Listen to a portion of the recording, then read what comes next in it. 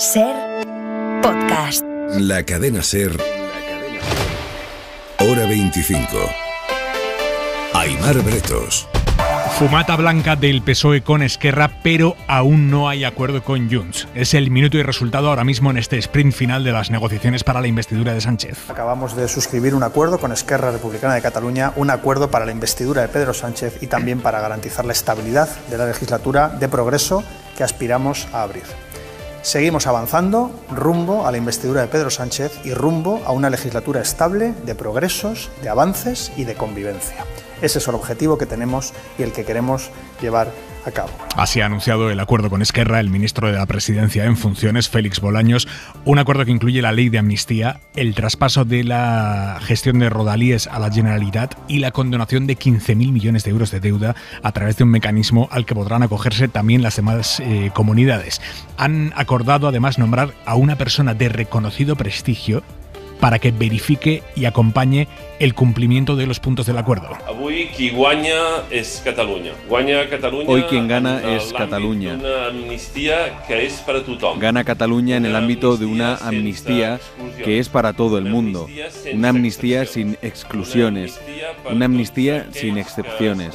Una amnistía para todos aquellos que están implicados, que participaron de alguna manera u otra en el 9 de noviembre o en el 1 de octubre en el Tsunami Democratic o en los CDR todos aquellos que participaron en algún acto de protesta en contra de sentencias que eran evidente y marcadamente injustas. Y marcadamente injustas. Habla Junqueras de una amnistía sin excepciones. Bolaños no ha querido entrar a detallar nada de la ley porque dice que aún la está negociando con Junts y de hecho Junqueras pide responsabilidad a los de Puigdemont sin pedírselo explícitamente, pero lo pide. Quiero pensar que todos los espacios políticos querrán trabajar en el mismo sentido y que que ayudarán a que esto vaya bien. Que todo això vagi bé. Y noticia de hace unos minutos, el Papa convoca a todos los obispos españoles en el Vaticano. Es una convocatoria insólita y aunque en ella no se hace mención al asunto, este llamamiento se produce solo unos días después del informe del defensor del pueblo sobre los abusos sexuales en la Iglesia española. Desde Italia informa para la SER Marina García. Marina, buenas tardes. Buenas tardes. Sí, convocada en el Vaticano para este 28 de septiembre la Conferencia Episcopal Española al completo, casi 80 obispos. El motivo sobre el papel debería ser tratar el funcionamiento y eficacia de los 45 seminarios en los que se forman los futuros sacerdotes españoles, españoles que sufrió una auditoría encargada por el Papa este mismo año. Pero llama la atención, como decías, que se conozca la noticia solo unos días después de que saliese a la luz el informe sobre abusos sexuales en la Iglesia española. Además, no se sabe si el pontífice estará presente y hasta ahora Francisco no se ha manifestado públicamente sobre el informe del defensor del pueblo, a pesar de haber hablado de, mucho, de muchos otros temas en una entrevista esta semana en la televisión pública italiana tras el sínodo celebrado este pasado mes de. Pero el jueves queda atravesado por el tormentón que tiene en alerta aún a toda la península, sobre todo por el viento fortísimo Viento que ha provocado la muerte de una chica en Madrid de 23 años le ha caído encima un árbol de 2.500 kilos cuando estaba cruzando un paso de peatones con sus padres. Joan Jimeno. El árbol que ha arrancado un trozo de acera en pleno centro de Madrid ha herido además a otras cinco personas, las más grave con una brecha en la cabeza. En Barcelona también un árbol que ha caído en un colegio ha herido a siete niños y a dos adultos. En Valencia hay unas 400 personas desalojadas de tres municipios porque el viento está complicando mucho un incendio en Terratech. lo que necesite medicaciones y lo que necesito de primera mano. Esta es la alcaldesa pidiéndole a la gente que cojan medicación y cosas de primera mano para salir de sus casas. En Galicia el viento también ha apretado muchísimo, sobre todo la costa de A Coruña, con olas de más de 10 metros, olas enormes también en Baleares. El viento provoca además 81 cancelaciones en aeropuertos, la mayoría en el aeropuerto de Madrid-Barajas, con miles de afectados también por los desvíos de aviones, que ha habido 11 hasta ahora. También hay varios tramos de tren cerrados en varios puntos del país, esto en España, aunque el temporal afecta a parte de Europa, hay dos muertos en Francia, dos en Bélgica y otro en Países Bajos. Y en las próximas horas, ¿qué nos espera Jordi Carbo? Buenas tardes.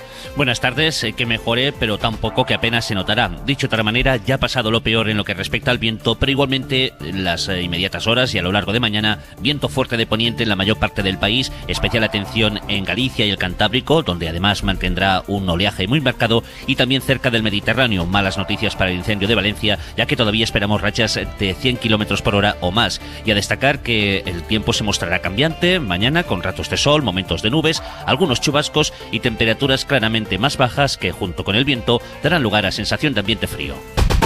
Hay media hora 25 deportes. Gallego, buenas tardes. Buenas tardes. Jornada de la Copa del Rey con dos partidos suspendidos por la mala meteorología. En Segovia, el que enfrentaba a Gimnástica y a Sestao, y en Valencia, el que enfrentaba a la Cheneta y al Real Zaragoza. En juego, dos partidos con equipos de primera. Al descanso, Arosa 0, Granada 1 y Chiclana 0, Villarreal 3. Empieza hora 25. Con la foto fija del momento político en el que estamos, Esquerra está ya dentro del bloque de investidura, ya oficialmente va a votar a favor de Pedro Sánchez, pero Junts todavía no lo está. El acuerdo con Puigdemont se resiste. No sabemos hasta qué punto por desacuerdos reales o porque el expresidente no quería compartir hoy los focos con Junqueras, pero por lo que nos dicen a esta hora no es un no es un paripé de Junts. Algo se ha torcido hoy. Veremos cuánto de torcido. Inma Carretero, jefa de política de la SER. Buenas tardes. ¿Qué tal? Buenas tardes. A la espera de lo que pase con Junts, Inma, el acuerdo que ya podemos esgranar es el del PSOE con Esquerra. Es un acuerdo que Mm. contempla esa figura de reconocido prestigio que van a nombrar para que verifique que se van cumpliendo los compromisos.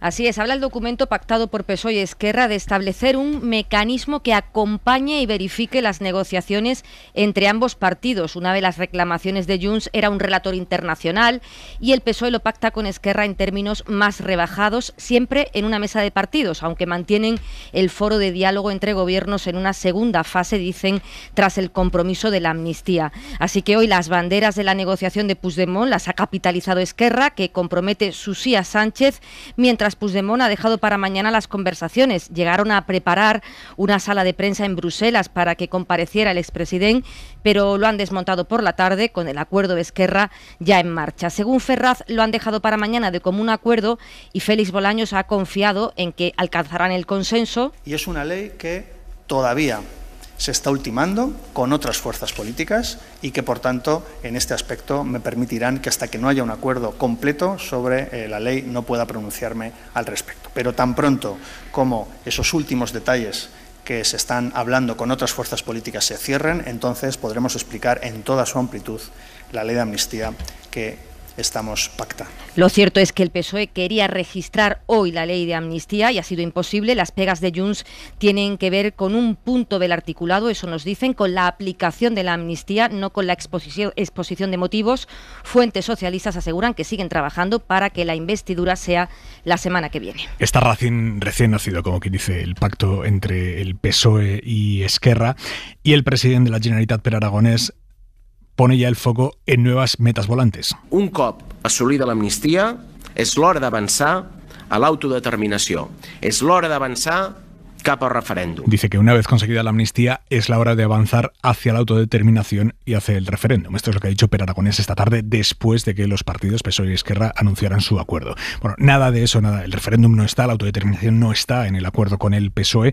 Vamos a detallar lo que sí figura en ese acuerdo. Radio Barcelona, Chávez Bello, buenas tardes. Hola, buenas tardes. Es un acuerdo que en el ámbito, digamos, del procés da continuidad a la mesa del diálogo. Como decías, sin ningún tiempo de referencia a la autodeterminación, aunque Esquerra Republicana considera que ahí podrá abordar esa cuestión, pero señalando que, como ya se ha pasado en anteriores ocasiones, que cualquier eventual acuerdo que se llegue en esa mesa pues eh, será refrendado por la ciudadanía. Esquerra reivindica que el espacio de negociación principal, ahora que también Junts puede entrar en la cocción, será seguirá siendo entre gobiernos, al margen de lo que puedan pactar el resto de partidos. Qui ha de negociar en nom de Catalunya és el govern de Catalunya, no alguns partits en particular. Quien tiene que negociar es el gobierno de Cataluña, decía Junqueras, que reivindica así ante Junts el protagonismo de esta, en esta negociación, como también eh, por el hecho de haber alcanzado acuerdo en otras cuestiones económicas y sociales que, eh, dice, benefician al conjunto de la ciudadanía. Una de ellas es el traspaso de la red de cercanías, que deberá culminarse a lo largo de esta legislatura. Incluirá el traspaso de algunas vías, la transferencia de parte económica y también la constitución de una nueva empresa entre Generalidad y Estado para operar el servicio. A lo largo de la legislatura se cerrarán los detalles. Y por otra parte, la condonación de hasta 15.000 millones de la deuda del FLA, que supondrá un ahorro para la Generalidad de 1.300 millones a en intereses, además de transferencias concretas para ámbitos como los Mossos de Escuadra, los servicios penitenciarios o un fondo para la investigación, además de una comisión bilateral Estado y Generalitat para abordar una, ah, una mejora de la financiación estructural para Cataluña. Con todo ello, Esquerra se compromete, lógicamente, a votar la investidura y también a dar estabilidad del gobierno, aunque Junqueras ha querido advertir que ello dependerá del cumplimiento de los acuerdos. Mencionaba Xavi cómo en el acuerdo se incluye perdonar 15.000 millones de euros de la deuda que Cataluña tiene con el Estado para que no haya agravio con el resto de comunidades, el PSOE se compromete a crear un mecanismo para hacer lo mismo con las demás comunidades, condonarles deuda. Jordi Fábrega, buenas tardes. Buenas tardes, sí, estamos hablando de perdonar 15.000 millones de los 71.000 que la Generalitat debe al Estado por el FLA. Cataluña es la comunidad que más debe con diferencia a este fondo, pero no la única. Así que el acuerdo para condonar una parte de la deuda será extensible a otras comunidades, aunque los porcentajes no tienen por qué ser los mismos. En el caso de Cataluña se les perdona un 20%, en otras comunidades dependerá. Dependerá porque la quita se argumenta diciendo que parte de la deuda que tienen ahora mismo las comunidades autónomas con el FLA se debe a la crisis financiera de hace una década, en un momento en el que no se ayudó a las comunidades autónomas. Así que se calculará qué parte de la deuda que tiene cada comunidad obedece a esa situación, a esos años de la crisis financiera y esa será la parte que se les perdonará. Hay que tener en cuenta que hay algunas comunidades que no tienen deudas con el FLA. Estamos hablando de las dos, exacto, de Madrid y de las dos comunidades forales.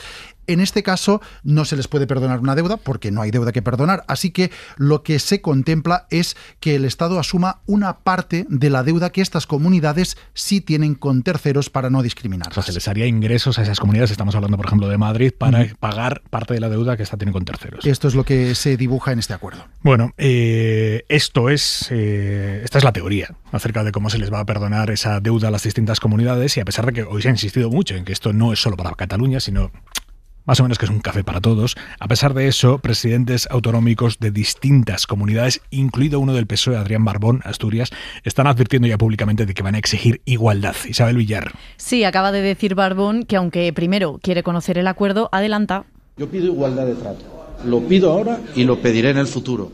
Si tenemos en cuenta los márgenes de proporcionales de la deuda, yo pido igualdad de trato. Y eso significa que también en Asturias pues tendríamos que ver condonada una parte de nuestra deuda. Esto en el PSOE, en el PP hay auténtica ofensiva de sus presidentes autonómicos. El andaluz Juanma Moreno ha dado ya hasta la cifra que quiere que el gobierno condone a Andalucía, 17.800 millones, que según sus cálculos es el equivalente por población a la cesión de Sánchez antes que Reyuns. El murciano López Miras critica que esto se haya acordado sin contar con el resto de autonomías y avisa que buscarán amparo en los tribunales. Misma advertencia del presidente de Castilla y León, de Fernández Mañueco. Basta ya de tanta indignidad, ha escrito la cántabra Sáenz de Buruaga. La extremeña Guardiola sostiene que el acuerdo implica demoler la igualdad entre españoles. En Galicia, Alfonso Rueda advierte de que no tolerarán menos que el resto. Y el presidente de Aragón, Jorge Azcón, acusa al PSOE de crear españoles de primera y de segunda. Y la de Madrid, Isabel Díaz Ayuso, acaba de decir que el silencio del PSOE convierte a los socialistas de todas las comunidades en independentistas. Ahí es nada. Los socialistas de todas las comunidades ahora son independentistas, según Isabel Díaz Ayuso. El listón lo ha fijado esta mañana bien alto además José María Aznar. Es un riesgo para la democracia española. Y yo lo digo con toda claridad. El señor candidato Sánchez es un peligro para la democracia constitucional española, porque se ha puesto la Constitución y el Estado del Derecho al servicio de los que lo quieren romper. El PP intensifica el discurso mientras maniobra en las instituciones. Van a usar su mayoría absoluta en el Senado para retrasar la aprobación de la ley de amnistía. Lo van a hacer modificando el reglamento del Senado no es que vayan a impedir que se apruebe la ley de amnistía porque no pueden, pero sí van a alargar los plazos todo lo que esté en sus manos. Mariela Rubio. Sí, el PP dejaba claro hoy que utilizará todos los resortes a su alcance para oponerse a la amnistía. El expresidente Aznar animaba a Feijó a actuar y el líder del PP recogía el guante. Actuaremos sin miedo en las instituciones y en la calle, decía. Y lo vamos a hacer sin miedo y sin ningún problema a que nos tachen de no sé qué. Que me tachen de español, un honor. Que me digan que somos españolistas, un honor que me digan que tensionamos la calle. ¿Cómo que tensionamos la calle? De momento, el PP activa ya su mayoría absoluta en el Senado y pretende dilatar la aprobación de una futura ley de amnistía. Para ello, ha registrado una iniciativa que pretende modificar el reglamento de la Cámara. El objetivo es dilatar al máximo los plazos de tramitación de la norma. Así lo reconocía Pedro Rollán, presidente del Senado. Evidentemente, el Grupo Parlamentario Popular, mm, yo no soy su portavoz, pero sí que pertenezco a ese grupo, eh, no va a facilitar la tramitación de esa ley. La reforma que propone el PP pasa porque la mesa de la Cámara, en la que los populares también tienen mayoría, pueda decidir unilateralmente si se aplican o no los plazos de los procedimientos de urgencia. Y esto es clave porque si se modifica este punto, de estar solo 20 días en el Senado, la ley de amnistía podría pasar a estar hasta dos meses antes de recibir luz verde. Y además de estas maniobras en el Senado, el Partido Popular sigue coqueteando con los llamamientos al transfugismo en el PSOE. Este que van a escuchar es Paco Núñez, el líder del PP en Castilla-La Mancha. Y aquellos que han manifestado como Paje su posición contraria a la amnistía tienen que unirse a quien la defendemos. Núñez le ha mandado una carta a Paje para que Paje pida a los diputados socialistas de Castilla-La Mancha que voten en contra de la investidura de Sánchez. Le dice literalmente, solo tú puedes hacerlo. Ha llegado el momento. La situación no aguanta más. No basta con decir que estás en contra. Es el momento de actuar actuar ante una amnistía que, sin estar siquiera registrada en el Congreso, divide ya a los jueces. Las asociaciones judiciales conservadoras y progresistas están a la gresca y el Consejo General del Poder Judicial va a celebrar el lunes por la tarde el pleno que han pedido ocho de los vocales conservadores. Es un pleno sobre la amnistía en el que estos vocales quieren que se apruebe una declaración institucional durísima contra la amnistía y contra el gobierno. Dicen que la medida supone abolir el Estado de Derecho en España. Pedro Jiménez. El lunes, a partir de las 7 de la tarde, 16 de los 21 miembros originales del Poder Judicial que llevan con el mandato caducado casi cinco años se reúnen en pleno extraordinario para abordar una ley de amnistía que todavía no conocen. Lo hacen a instancias de ocho vocales elegidos a propuesta del PP que componen su núcleo duro y que llevan debajo del brazo esa declaración institucional que acusa a Sánchez de confundir su interés con el de España y que establece que la amnistía no es constitucional porque genera una casta jurídicamente irresponsable e impune por su delitos. Necesitan un voto más. La cita viene precedida por las negociaciones para ultimar la ley y por la bronca entre las asociaciones judiciales. La conservadora y mayoritaria PM sostiene que con la ley del perdón vuela por los aires el Estado de Derecho y llega el principio del fin de nuestra democracia, mientras que la progresista de JD acusa a estos ocho vocales de parcialidad y de abusar de sus atribuciones, poniendo en riesgo la independencia judicial.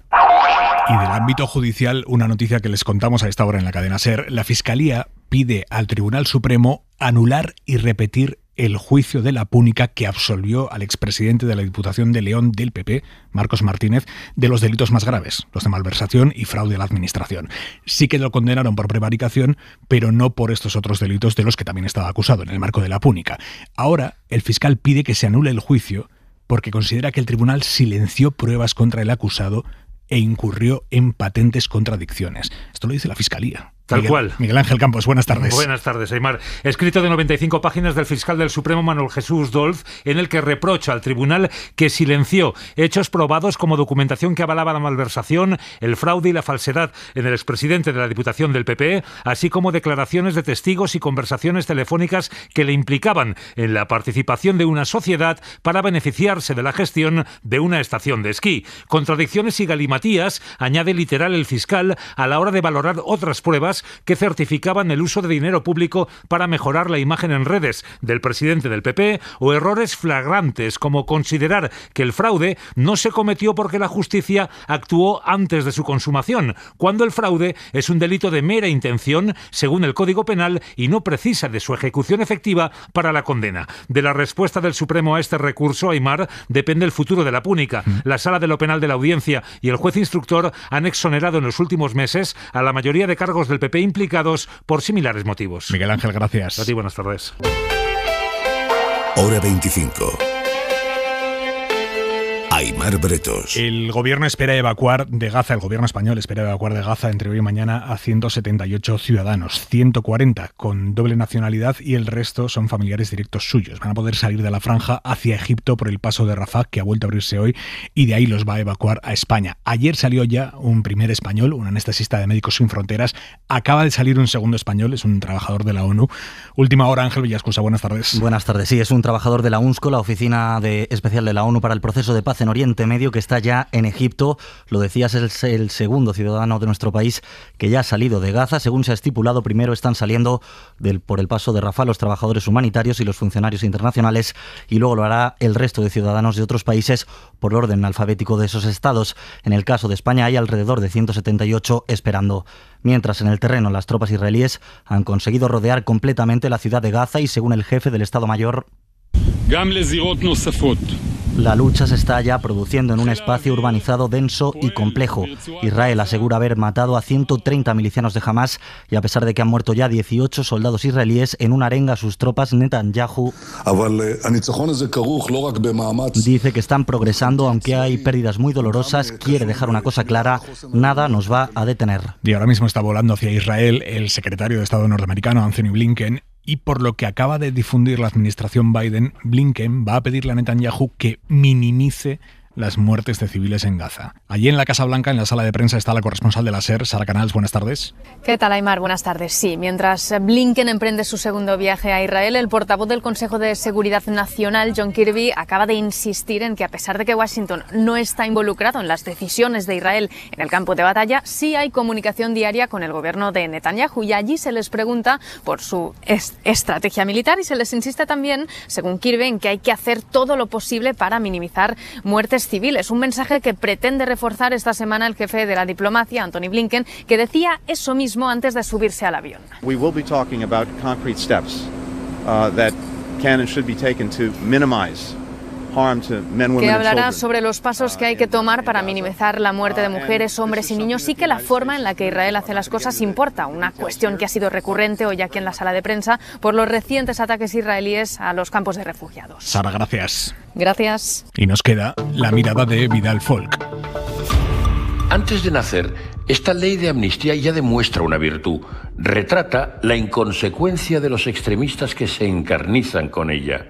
Los ultras, pues la gente normal que duda o discrepa, lo hace con normalidad democrática.